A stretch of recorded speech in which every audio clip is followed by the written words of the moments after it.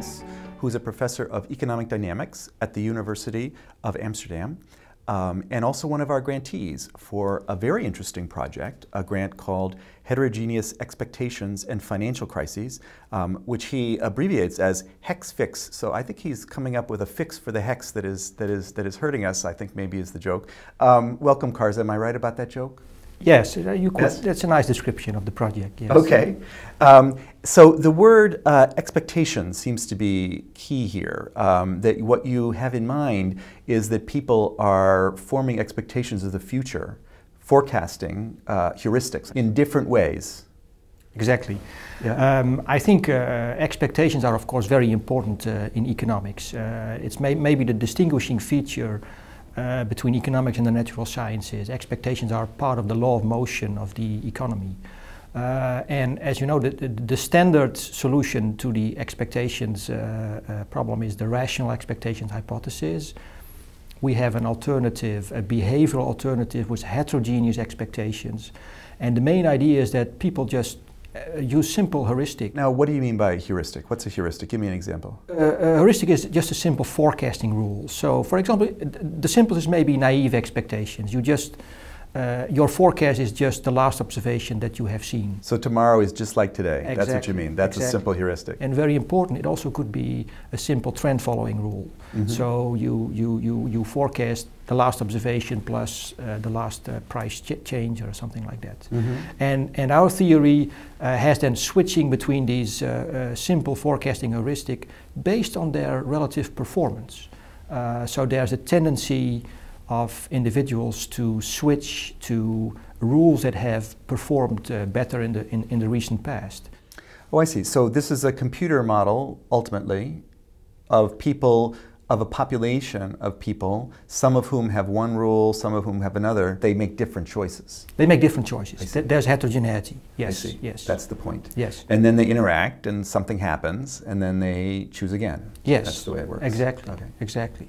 I'm familiar with this sort of thing. I, get, I think I get this. But what's interesting about your project is that it seems to be uh, calibrated in some way, or that you're, you're, you're taking the rules or the, these heuristics um, from actual experiments on actual people. Um, and also, I think maybe from some, some empirical surveys or something. Yes. Yes. From Tell me, tell me how you do that. Well, uh, so let me first uh, talk about the experiments. The experiments. Uh, laboratory experiments are very important in economics, and you can use the laboratory to study expectations and to study forecasting behavior. And that's what we have been doing in Amsterdam already for quite some time, for about 10 years. Uh, and uh, so you bring students there, they sit behind a computer, they do forecasting. We give them uh, only some qualitative information about the market environment. And given this limited information, we study what happens to the market both on individual forecasting and on aggregate behavior. Mhm. Uh, and uh, so, what we found is that uh, the model with simple heuristics describes the forecasting behavior in the, in the laboratory uh, very well. Uh, and another, uh, I think, very important finding is the type of feedback is really important for the aggregate outcome of the market. Let, let me give two examples. Yes. The classical example is the, the cobweb model, the hog cycle model that John Muth was using in his classical paper on rational expectations in 1961. That's an example with negative feedback. When expectations go up, producers produce more, and therefore the realized Prices price goes fall. down. Now, in that environment, we have found in the laboratory that is quite a stable environment. Uh, prices converge, prices converge to equilibrium. So, if you run an experiment with negative Mm-hmm. So feedback, Muth was sort of right. Muth was sort of right Okay. uh, In his environment. in negative feedback environment. Because the other crucial finding that we have that typically when you have positive feedback, Muth was wrong.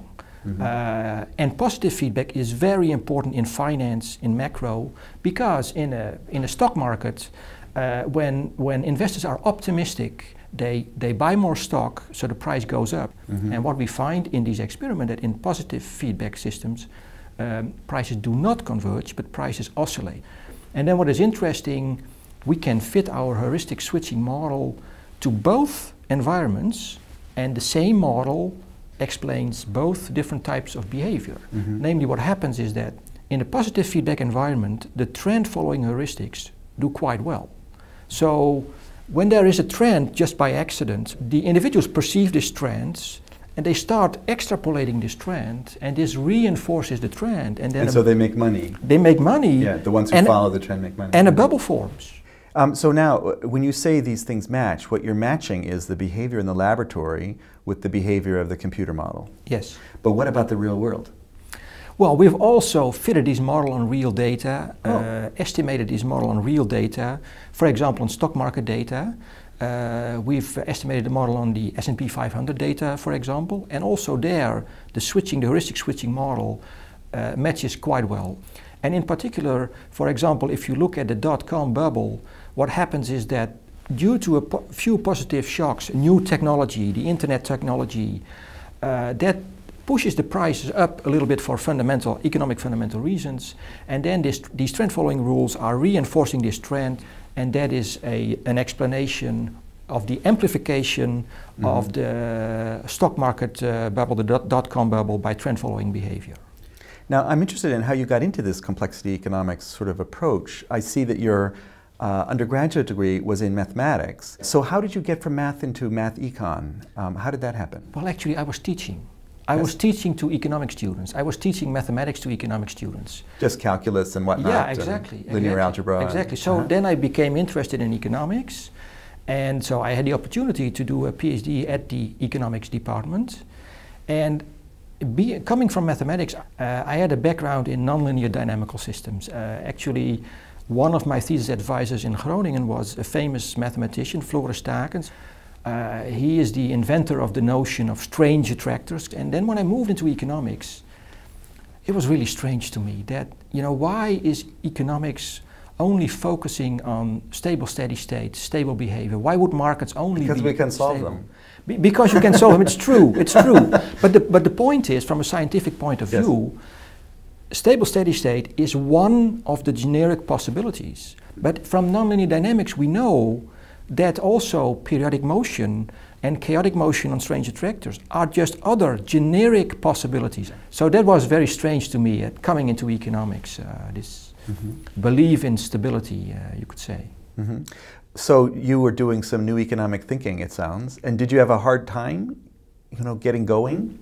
Yeah, I, I must say I had. As yeah. a PhD student, for example, I thought one of the models in my thesis that I worked on was Hicks' nonlinear trade cycle model. And I found chaotic behavior in that trade cycle model, but it's not a model with micro foundations. So when I try to publish this work in economics journals, uh, you get the usual reaction that the model is not micro founded. And actually, very interesting, when I was reading Hicks' book, he has somewhere a graph of that possibility. He was he was calculating the solution point period by point, by period. period by period. Uh-huh. And here's a time series that starts oscillating like it looks all uh, unstable. And, yeah, and this and book is from like before World War II, I think, isn't it? No, it's 1950 or 1951. 51, uh, yeah. Uh, and, but it's before Edward Lorenz uh, discovered chaotic motion in meteorology. So, I mean, my feeling was always that if Hicks would have had a computer on his desk, he might have found chaotic behavior in his model. And mm-hmm how would that have, have uh, affected uh, economic thinking? We might not have gone down this path. That, I don't know. That, we did. Interesting, interesting idea. Well, so now we're hoping in supporting this grant we can help you support a next generation of new economic thinkers. Yeah. Um, and um, we're very pleased to have you and welcome you to our stable of INET economists and look forward to seeing your, your results. Thank you very much. Thank I, you.